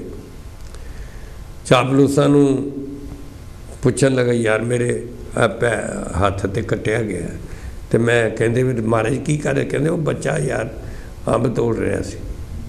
ਤੇ ਚਾਪਲੂਸਾਂ ਦਾ ਕੰਮ ਹੀ ਹੁੰਦਾ ਉਹਨਾਂ ਨੇ ਕਿਹਾ, ਜੀ, ਬੱਚਾ ਬੜਾ ਨੈਸ਼ ਹੈ, ਬੜਾ ਬਦਕਿਸਮਤ ਹੈ। ਇਹਦੀ, ਇਹਨੂੰ ਵੇਖਿਆ ਤੁਸੀਂ ਤੇ ਇਹਨੂੰ ਵੇਖਣ ਦੇ ਨਾਲ ਹੀ ਤੁਹਾਡਾ ਹੱਥ ਕੱਟਿਆ ਗਿਆ। ਫੜ ਲਓ ਇਹਨੂੰ। ਚਾਪਲੂਸਾਂ ਨੇ ਫੜ ਫੁੜ ਕੇ ਕਹਿੰਦੇ ਫੜ ਲਿਓ ਜੀ, ਇਹਨੂੰ ਸਜ਼ਾ ਦਿੱਤੀ ਜਾਏ। ਔਰ ਸਜ਼ਾ ਕੀ ਦਿੱਤੀ ਜਾਏ ਕਿ ਰਾਜ ਰਾਜ ਦਾ ਹੱਥ ਕੱਟਿਆ ਗਿਆ। ਇਹ ਨੈਸ਼ ਹੈ। ਅੱਜ ਤੁਹਾਨੂੰ, ਤੁਸੀਂ ਤੁਹਾਡੇ ਮੱਥੇ ਲੱਗਿਆ ਤੇ ਤੁਹਾਡਾ ਇਹ ਹਾਲ ਹੋਇਆ ਕੱਲ ਨੂੰ ਕਿਸੇ ਹੋਰ ਦਾ ਹਾਲ ਹੋਏਗਾ। ਇਹਨੂੰ ਫਾਂਸੀ ਦੇ ਦਿਓ। ਤੇ ਜਦੋਂ ਉਹਨੂੰ ਫਾਂਸੀ ਦੀ ਸਜ਼ਾ ਸੁਣਾਈ, ਤੇ ਸਾਧ ਸੰਗਤ ਕਾਲੀਦਾਸ ਅਗੋਂ ਬੱਚਾ ਸੀ, ਪਰ ਉਹਦੇ ਰੱਬ ਉਹਦਾ ਵੀ ਹੁੰਦਾ। ਉਹਨੇ ਕਿਹਾ ਮਹਾਰਾਜ ਪਹਿਲਾਂ ਫੈਸਲਾ ਕਰ ਲਓ ਕਿ ਜ਼ਿਆਦਾ ਅਨਲੱਕੀ ਕੌਣ ਹੈ? ਜ਼ਿਆਦਾ ਨੈਸ਼ ਬਦਕਿਸਮਤ ਕੌਣ ਹੈ? ਕਹਿੰਦੇ, ਮੇਰੇ ਤੋਂ ਸ਼ਕਲ ਵੇਖੀ ਤੇ ਮੇਰੀ ਸ਼ਕਲ ਵੇਖ ਕੇ ਤੇ ਤੁਹਾਡੀ ਉਂਗਲ ਹੀ ਕੱਟੀ ਗਈ ਹੈ ਪਰ ਮੈਂ ਤੁਹਾਡੀ ਸ਼ਕਲ ਵੇਖੀ ਤੇ ਮੈਨੂੰ ਤੇ ਤੁਸੀਂ ਫਾਂਸੀ ਦੀ ਸਜ਼ਾ ਹੋ ਗਈ ਹੈ ਕਹਿੰਦੇ, ਜ਼ਿਆਦਾ ਨੈਸ਼ ਮੈਂ ਵਾਂ ਕਿ ਤੁਸੀਂ ਹੋ? ਜ਼ਿਆਦਾ ਬਦਕਿਸਮਤ ਮੈਂ ਵਾਂ ਕਿ ਤੁਸੀਂ ਹੋ? ਜਿਹਨੂੰ ਵੇਖਦੇ ਸਾਰ ਮੈਨੂੰ ਫਾਂਸੀ ਦੀ ਸਜ਼ਾ ਹੋ ਗਈ। ਰਾਜਾ ਜਵਾਬ ਨਹੀਂ ਦੇ ਸਕਿਆ ਸਾਧ ਸੰਗਤ। ਹੈ ਇੰਨੀ ਸਿਆਣੀ ਗੱਲ ਔਰ ਉਸਨੇ ਕਾਲੀਦਾਸ ਨੂੰ ਆਪਣਾ ਮੰਤਰੀ ਬਣਾ ਲਿਆ, ਆਪਣੇ ਦਰਬਾਰ 'ਚ ਹੀ ਰੱਖ ਲਿਆ। ਔਰ ਕਾਲੀਦਾਸ ਦੀਆਂ ਬਹੁਤ ਗੱਲਾਂ ਮਸ਼ਹੂਰ ਨੇ ਕਿ ਕਿੰਨਾ ਸਿਆਣਾ ਗੁਰਮੁਖ ਪਿਆਰਾ ਗੁਰੂ ਦੀ ਮੱਤ ਅਨੁਸਾਰ ਹੈ ਜੋ ਭਾਈ ਗੁਰਦਾਸ ਜੀ ਕਹਿ ਰਹੇ ਨੇ। ਇਹਦੇ ਅਨੁਸਾਰ ਉਸ ਦਾ ਜੀਵਨ ਸੀ। ਕਿ ਆਪਣੇ ਹਉਮੈ ਨੂੰ, ਗਰਭ ਨੂੰ ਨਿਵਾਰ ਕੇ ਸਾਧ ਸੰਗਤ ਸੱਚ ਮੇਲ ਮਿਲੰਦੇ ਸਤ, ਸੱਚ ਨੂੰ ਮਿਲਦੇ ਨੇ, ਸਾਧ ਸੰਗਤ ਨੂੰ ਮਿਲ ਕੇ ਸੱਚ ਦੀ ਪ੍ਰਾਪਤੀ ਕਰਦੇ ਨੇ। ਸਾਧ ਸੰਗਤ ਕਾਲੀਦਾਸ ਜੀ ਦੀ ਹੋਰ ਕਥਾ ਹੈ। ਜੂਨ, ਜੁਲਾਈ ਦਾ ਮਹੀਨਾ ਸੀ ਤੇ ਆਪਣੇ ਆ ਰਹੇ ਸਨ ਮਹਿਲਾਂ ਦੇ ਵਿੱਚ, ਆਪਣੇ ਦਫ਼ਤਰ ਵਿੱਚ ਤੇ ਰਸਤੇ ਵਿੱਚ ਕੀ ਦੇਖਦੇ ਨੇ ਕਿ ਇੱਕ ਗਰੀਬ ਬੰਦਾ ਵਿਚਾਰਾ ਨੰਗੇ ਪੈਰੀ ਇੰਨੀ ਗਰਮੀ ਤਪੀ ਹੋਈ ਧਰਤੀ, ਅੱਗ ਵਾਂਗੂ ਤੇ ਉਹਦੇ ਤੇ ਚੱਲ ਰਿਹਾ ਹੈ, ਨੰਗੇ ਪੈਰੀ ਜੁੱਤੀ ਉਹਦੇ ਕੋਲ ਕੋਈ ਨਹੀਂ। ਔਰ ਉਹ ਚੱਲ ਰਿਹਾ ਹੈ ਤੇ ਉਹਦੇ ਪੈਰਾਂ ਦੇ ਵਿੱਚ ਛਾਲੇ ਵੀ ਹੋ ਗਏ ਤੇ ਖੂਨ ਵੀ ਵਗ ਰਿਹਾ ਕਾਲੀਦਾਸ ਜੀ ਆ ਰਹੇ ਸਨ, ਉਹਨਾਂ ਨੇ ਦੇਖਿਆ ਹੱਦ ਹੋ ਗਈ ਯਾਰ। ਇੰਨੀ ਗਰੀਬੀ ਔਰ ਇਹਦੇ ਪੈਰਾਂ 'ਚ ਖੂਨ ਵੀ ਵਗ ਰਿਹਾ ਔਰ ਸਾਧ ਸੰਗਤ ਨੂੰ ਤਰਸ ਆਇਆ, ਕਿਉਂਕਿ ਬੰਦਾ ਉਹੀ ਹੈ ਜਿਹਨੂੰ ਦੂਜੇ ਨੂੰ ਵੇਖ ਕੇ ਤਰਸ ਆਇਆ, ਨਹੀਂ ਤੇ ਬੰਦਾ ਕਾਹਦਾ ਪੱਥਰ ਹੈ? ਪੱਥਰ ਹੈ ਨਹੀਂ ਤੇ। ਔਰ ਉਹਨੇ ਕਾਲੀਦਾਸ ਜੀ ਨੇ ਉਹਨੂੰ ਆਪਣੀ ਜੁੱਤੀ ਦੇ ਦਿੱਤੀ, ਜਿਹੜੀ ਕਿ ਉਹਨਾਂ ਦੀ ਆਪਣੀ ਜੁੱਤੀ ਵੀ ਟੁੱਟੀ ਹੋਈ ਸੀ, ਬੜੀ ਪੁਰਾਣੀ, ਬਸ ਘੜੀਸੀ ਵੇਚਦੇ ਸਨ। ਆਪਣੀ ਟੁੱਟੀ ਹੋਈ ਜੁੱਤੀ ਉਹਨੂੰ ਦੇ ਦਿੱਤੀ। ਤੇ ਉਹਨੇ ਉਸ ਭਿਖਾਰੀ ਨੇ, ਗਰੀਬ ਬੰਦੇ ਨੇ ਬੜੀ ਮਦਦ, ਉਹਦਾ ਥੈਂਕ ਯੂ ਵੀ ਕੀਤਾ, ਧੰਨਵਾਦ ਵੀ ਕੀਤਾ। ਤੇ ਇਹ ਆਪ ਕਾਲੀਦਾਸ ਜੀ ਨੰਗੀ ਪੈਰੀ ਤੁਰੇ ਹੋਣ ਤੇ ਜੇ ਤੁਰੇ ਹੋਣ ਤੇ ਪਿੱਛੋਂ ਰਾਜੇ ਦਾ ਹਾਥੀ ਤੁਰਿਆ ਹੈ ਮਹਾਵਤ ਹਾਥੀ ਤੇ ਬੈਠਾ ਹੋਇਆ। ਉਹਨੇ ਵੇਖਿਆ ਏਡੇ ਵਿਦਵਾਨ ਜਿਹੜੇ ਕਿ ਮਿਨਿਸਟਰ ਨੇ ਤੇ ਉਹ ਪੈਦਲ ਜਾ ਰਹੇ ਨੇ, ਉਹ ਵੀ ਨੰਗੇ ਪੈਰੀ ਇੰਨੀ ਗਰਮੀ 'ਚ। ਉਹਨੇ ਪੁੱਛ ਲਿਆ, ਕਹਿੰਦੇ ਕਾਲੀਦਾਸ ਜੀ ਕਿੱਧਰ ਜਾ ਰਹੇ ਹੋ? ਕਹਿੰਦੇ ਮਹਿਲ 'ਚ ਜਾ ਰਹੇ ਹੋ। ਤੇ ਹ- ਮਹਾਵਤ ਨੇ ਕਿਹਾ ਜੀ, ਮੈਂ ਵੀ ਮਹਿਲ 'ਚ ਜਾ ਰਿਹਾ, ਤੁਸੀਂ ਆ ਜਾਓ, ਹਾਥੀ ਤੇ ਬਹਿ ਜਾਓ। ਉਹਨੇ ਫੜ ਕੇ ਕਾਲੀਦਾਸ ਜੀ ਨੂੰ ਹਾਥੀ ਤੇ ਬਿਠਾ ਲਿਆ। ਤੇ ਜਦੋਂ ਦਰਬਾਰ 'ਚ ਗਏ, ਅੱਗੇ ਮਹਿਲ ਵਿੱਚ ਗਏ ਤੇ ਅੱਗੇ ਰਾਜਾ ਭੋਜ ਦੇਖ ਰਹੇ ਸਨ। ਤੇ ਉਹਨਾਂ ਵੀ ਮਜ਼ਾਕ ਵਿੱਚ ਵੇਖਿਆ ਵੀ ਕਾਲੀਦਾਸ ਜੀ ਉਹਦੇ ਉੱਤੇ ਬਹਿ ਕੇ ਆ ਰਹੇ ਨੇ, ਹਾਥੀ ਦੇ ਉੱਤੇ। ਆਖਣ ਲੱਗੇ, ਰਾਜਾ ਭੋਜ ਨੇ ਪੁੱਛਿਆ, ਕਹਿੰਦੇ ਕਾਲੀਦਾਸ ਇਹ ਹਾਥੀ ਕਿੰਨੇ ਦਾ ਖਰੀਦਿਆ ਜੀ ਸਾਧ ਸੰਗਤ ਕਾਲੀਦਾਸ ਨੇ ਕਿਹਾ ਜੀ, ਇੱਕ ਟੁੱਟੀ ਹੋਈ ਜੁੱਤੀ ਦੇ ਕੇ। ਹੈ? ਟੁੱਟੀ ਹੋਈ ਜੁੱਤੀ ਦੇ ਕੇ, ਉਹ ਕਿਵੇਂ? ਔਰ ਕਾਲੀਦਾਸ ਜੀ ਨੇ ਸਾਰੀ ਗੱਲ ਸੁਣਾਤੀ। ਕਿ ਇਸ ਤਰ੍ਹਾਂ ਇੱਕ ਗਰੀਬ ਬੰਦਾ ਸੀ, ਉਹਦੇ ਪੈਰਾਂ 'ਚ ਛਾਲੇ ਹੋ ਗਏ ਸਨ। ਖੂਨ ਵੀ ਵਗ ਰਿਹਾ ਸੀ ਤੇ ਮੈਂ ਆਪਣੀ ਜੁੱਤੀ ਟੁੱਟੀ ਹੋਈ ਉਹਨੂੰ ਦੇਤੀ ਤੇ ਉਹਦੇ ਬਦਲੇ ਮੈਨੂੰ ਇਹਨੇ ਤੁਹਾਡੇ ਮਹਾਵਤ ਨੇ ਉੱਤੇ ਬਿਠਾ ਲਿਆ। ਉਹਨਾਂ ਦੀ ਇਹ ਗੱਲ ਸੁਣ ਕੇ ਇੱਕ ਟੁੱਟੀ ਹੋਈ ਜੁੱਤੀ ਦੇ ਕੇ ਤੇ ਮੈਨੂੰ ਹਾਥੀ ਮਿਲ ਗਿਆ। ਸਾਧ ਸੰਗਤ, ਗੱਲ ਸੁਣ ਕੇ ਤੇ ਸੋਚੀ ਪੈ ਗਏ ਰਾਜਾ ਭੋਜ। ਦੋ ਮਿੰਟ ਸੋਚ ਕੇ ਕਹਿਣ ਲੱਗੇ, ਕਾਲੀਦਾਸ ਜੀ, ਹਾਥੀ ਤੁਹਾਡਾ। ਹਾਥੀ ਲੈ ਲਓ। ਕਾਲੀਦਾਸ ਜੀ ਕਹਿਣ ਲੱਗੇ ਮੈਂ ਕੀ ਕਰਨਾ ਹਾਥੀ? ਮੈਨੂੰ ਕਿੱਥੇ ਬੰਨਾਗਾ? ਕਹਿਣ ਲੱਗਾ ਭੋਜ, ਮੈਨੂੰ ਨਹੀਂ ਪਤਾ। ਇੱਕ ਟੁੱਟੀ ਹੋਈ ਜੁੱਤੀ ਦੇ ਕੇ ਤੇ ਤੁਹਾਨੂੰ ਹਾਥੀ ਮਿਲ ਗਿਆ। ਤੇ ਮੈਂ ਜੇ ਹਾਥੀ ਦਾਨ ਕਰ ਦਾਂਗਾ ਤੇ ਮੈਨੂੰ ਕੀ ਮਿਲੇਗਾ? ਮੈਨੂੰ ਕੀ ਪਤਾ ਨਹੀਂ ਕੀ ਕੀ ਮਿਲ ਜਾਏਗਾ। ਸਾਧ ਸੰਗਤ ਐਸੇ ਸਨ, ਪੁਰਾਣੇ ਰਾਜੇ ਵੀ ਔਰ ਐਸੇ ਸਨ ਪੁਰਾਣੇ ਮਹਾਂਪੁਰਸ਼। ਔਰ ਜਿਹੋ ਜਿਹਾ ਬਣਨ ਵਾਸਤੇ ਸਾਨੂੰ ਭਾਈ ਗੁਰਦਾਸ ਜੀ ਕਹਿ ਰਹੇ ਨੇ ਕਿ ਹਉਮੈ ਨੂੰ ਹਉਮੈ ਦਾ ਗਰਭ ਨਿਵਾਰ ਕੇ ਸਾਧ ਸੰਗਤ ਸੱਚ ਮੇਲ ਮਿਲੰਦੇ ਸਾਧ ਸੰਗਤ ਦੇ ਵਿੱਚ ਸੱਚ ਨਾਲ ਮਿਲਦੇ ਮੇਰੇ ਮਾਧੋ ਜੀ ਸਤ ਸੰਗਤ ਮਿਲੇ ਸੋ ਤਰਿਆ। ਔਰ ਇਹੀ ਬੇਨਤੀ ਮਹਾਂਪੁਰਸ਼ ਹਮੇਸ਼ਾ ਗੁਰਸਿੱਖ ਕਰਦੇ ਨੇ। ਐਸੀ ਲਾਲ ਤੁਧ ਬਿਨ ਕਮਨ ਕਰੇ। ਗਰੀਬ ਨਵਾਜ ਗੁਸਈਆਂ, ਮੇਰਾ ਮਾਥੇ ਛਤਰ ਤਰੇ ਅੱਜ ਕਾਲੀਦਾਸ ਜੀ ਦੀ ਆਪ ਜੀ ਨੂੰ ਗੱਲ ਸੁਣਾਈ। ਲੇਕਿਨ ਇਹ ਗਰੀਬ ਨਵਾਜ, ਤੁਹਾਡੇ ਵੀ, ਮੇਰੇ ਵੀ ਮੱਥੇ ਤੇ ਛਤਰ ਰੱਖ ਦਿੰਦਾ ਹੈ। ਇਹਦੇ ਬਣ ਕੇ ਦੇਖੀਏ। ਜਾਂ ਕੀ ਛੋਤ ਜਗਤ ਕੋ ਲਾਗੇ ਤਾਂ ਪਰ ਤੂੰ ਹੀ ਡਰੇ ਨੀਚੋਂ ਉੱਚ ਕਰੇ ਮੇਰਾ ਗੋਬਿੰਦ, ਕਾਹੂ ਤੇ ਨਾ ਡਰੇ। ਇਹ ਅਕਾਲ ਪੁਰਖ ਜੋ ਹੈ, ਹਰੀ ਜੋ ਹੈ, ਸਾਧ ਸੰਗ, ਸਤਿਗੁਰੂ ਜੋ ਹੈ, ਇਹ ਕਿਸੇ ਤੋਂ ਡਰਦਾ ਨਹੀਂ ਹੈ। ਇਹ ਹਰ ਇੱਕ ਨੂੰ ਗਲੇ ਲਗਾਉਂਦਾ ਹੈ। ਜੋ ਨੀਚ ਬਣ ਕੇ ਆਉਂਦਾ, ਉਹਨੂੰ ਉੱਚਾ ਕਰ ਦਿੰਦਾ ਹੈ। ਲੇਕਿਨ ਜੋ ਵੱਡਾ ਬਣ ਕੇ ਆਇਆ, ਉਹਨੂੰ ਕੋਈ ਨਹੀਂ ਪੁੱਛਦਾ ਇੱਥੇ। ਜੋ ਸਾਧ ਸੰਗ ਕੁਝ ਬਣ ਕੇ ਆਤੇ ਉਹਨੇ ਇਹ ਟਾਲ ਦਿੱਤਾ ਹੈ। कुछ नहीं बनते उनको संभाल लेता है और फिर कहते नामदेव कबीर त्रिलोचन सदना सैन तरे कह रविदास नोरे संतो हर जी होते सबे सरे करके देखिए ਸਤਿਗੁਰੂ ਰਵਿਦਾਸ ਜੀ ਮਹਾਰਾਜ ਫਰਮਾਉਂਦੇ ਨੇ ਭਾਈ ਗੁਰਦਾਸ ਜੀ ਮਹਾਰਾਜ ਫਰਮਾਉਂਦੇ ਨੇ ਕਿ ਜੇ ਦੁਨੀਆ ਦੇ ਵਿੱਚ ਤੂੰ ਇੱਕ ਬੰਨਾ ਹੈ, ਹਉਮੈ ਨੂੰ ਛੱਡ ਦਿਓ ਹੰਕਾਰ ਨੂੰ ਛੱਡ ਦਿਓ ਹੰਕਾਰ ਨੂੰ ਛੱਡ ਕੇ ਤੇ ਫਿਰ ਸਾਧ ਸੰਗਤ ਨਾਲ ਸੱਚ ਮੇਲ ਕਰਨ ਦੇ, ਸਾਧ ਸੰਗਤ ਪੂਰਨ ਬ੍ਰਹਮ ਚਰਨ ਕਮਲ ਪੂਜਾ ਪ੍ਰਚੰਦੇ ਹੁਣ ਸਾਧ ਸੰਗਤ ਪੂਰਨ ਬ੍ਰਹਮ ਕੌਣ ਹੈ? ਪੂਰਨ ਬ੍ਰਹਮ ਸ਼ਬਦ ਨਹੀਂ ਹਨ, ਪੂਰਨ ਬ੍ਰਹਮ ਹੈ। ਕਿਹੜਾ ਹੈ?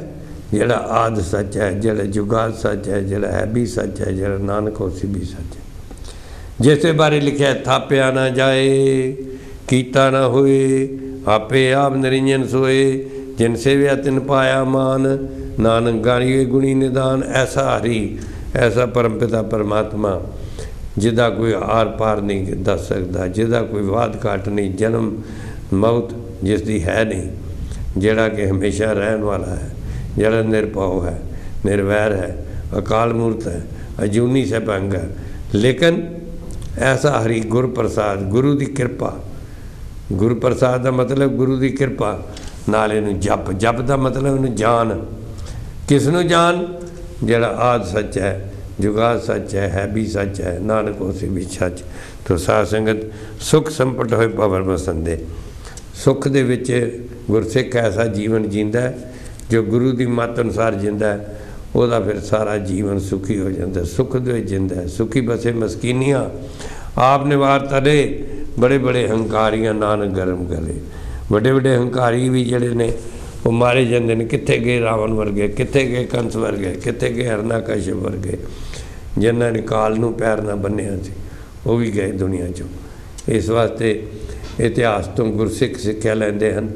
ਔਰ ਖਾਸ ਤੌਰ ਪਰ ਜੋ ਸਧਾਰਨ ਲੋਕ ਨੇ, ਜੋ ਗਰੀਬ ਲੋਕ ਨੇ, ਜੋ ਗਰੀਬਾਂ ਦਾ ਹੈ, ਗਰੀਬ ਨਵਾਜ ਹੁੰਦਾ ਹੈ ਸਤਿਗੁਰੂ, ਜੋ ਇਸ ਨੂੰ ਮੰਨਣ ਵਾਲੇ ਨੇ, ਜੀ, ਕਿਰਤ ਵਿਰਤ ਕਰਨ ਵਾਲੇ ਨੇ, ਜੋ ਕਿਸੇ ਦਾ ਲੈ ਕੇ ਦਬਦੇ ਨਹੀਂ, ਜੋ ਕਿਸੇ ਦਾ ਖੋ ਕੇ ਖਾਂਦੇ ਨਹੀਂ। ਕਿ ਮੈਂ ਅੱਜ ਤੱਕ ਵੀ ਕਿਸੇ ਨੂੰ ਖੋ ਕੇ ਖਾਣ ਵਾਲੇ ਦਾ ਪੇਟ ਭਰਦੇ ਨਹੀਂ ਵੇਖਿਆ ਤੇ ਜਿਹੜਾ ਨੇਕ ਕਮਾਈ ਕਰਦਾ ਉਹਨੂੰ ਮੈਂ ਭੁੱਖੇ ਮਰਦੇ ਨਹੀਂ ਵੇਖਿਆ।